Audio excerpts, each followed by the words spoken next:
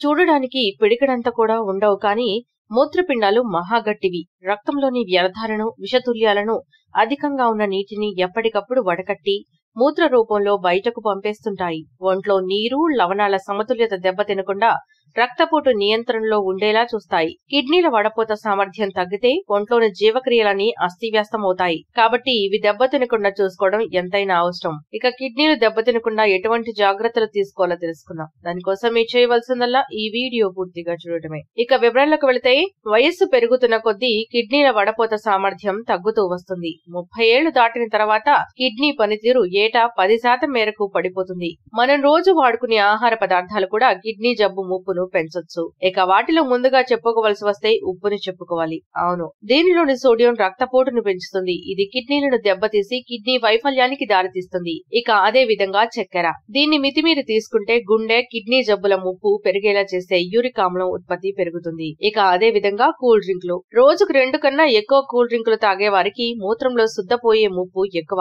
ఇది కిడ్నీ జబ్బు ముప్పును మరింత పెంచుతుంది. ఇక మాంసాహార ప్రోటీన్లు. వీటితో కిడ్నీల మీద భారం ఎక్కువగా పడుతుంది. నొప్పి మందులు కూడా కిడ్నీలను పాడు చేస్తాయి. అదెలాగంటే ఎన్ఎస్ఏఐడి రకం నొప్పి మందులను అనవసరంగా తరచుగా దీర్ఘకాలంగా పెద్ద మొత్తంలో వాడితే కిడ్నీలకు హానికరంగా పరిణమిస్తుంది. ఇక అతిగా మద్యం తాగితే కూడా కిడ్నీలో యూరిక్ ఆమ్లం పోగుపడుతుంది. దీంతో నెఫ్రాన్లో వడపోత మార్గాల్లో అడ్డంకి తలెత్తి కిడ్నీ వైఫల్యం కిడ్నీ జబ్బులకు దారితీస్తుంది. ఇక కిడ్నీలు పాడైపోయాయని ఎలా తెలుసుకోవాలో ఇప్పుడు తెలుసుకుందాం. ముందుగా రాత్రిపూట ఎక్కువసార్లు మూత్రం వస్తూ ఉంటే కిడ్నీలో ప్రాబ్లం ఉన్నట్లు తెలుసుకోవాలి. ఇక మూత్రం పోస్తున్నప్పుడు నొప్పి ఇబ్బంది అనిపించిన మూత్రంలో రక్తం శుద్ధపడటం పాదాలు కాళ్ళవాపులు ముఖం ఉబ్బరించడం ఆకలి తగ్గడం ఆయాసం నిస్సత్తువ రక్తహీనత వాంతి వికారం ఎముకల నొప్పులు బాధలు ఇలాంటి లక్షణాలు ఏమున్నా ఖచ్చితంగా కిడ్నీ టెస్ట్ చేయించుకోవాలి. ఇక కిడ్నీలు దెబ్బతిన్నాక బాధపడే కన్నా అలాంటి పరిస్థితి రాకుండా నివారించుకోవడమే ఉత్తమం. దానికోసం తగినంత నీరు తాగడం మధుమేహం అధిక రక్తపోటు సమస్యలను నియంత్రణలో ఉంచుకోవడం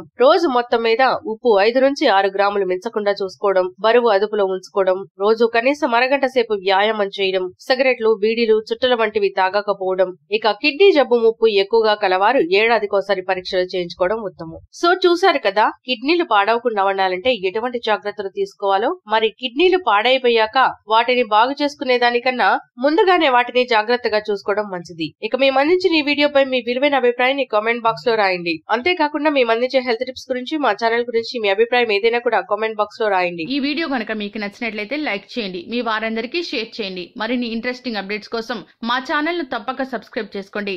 ఇక మేము అందించే హెల్త్ అప్డేట్స్ ఎప్పటికప్పుడు మీ మొబైల్ ఫోన్లో నోటిఫికేషన్ రూపంలో పొందాలనుకుంటే గంట సిమ్మల్ని ప్రెస్ చేయండి. Thanks for watching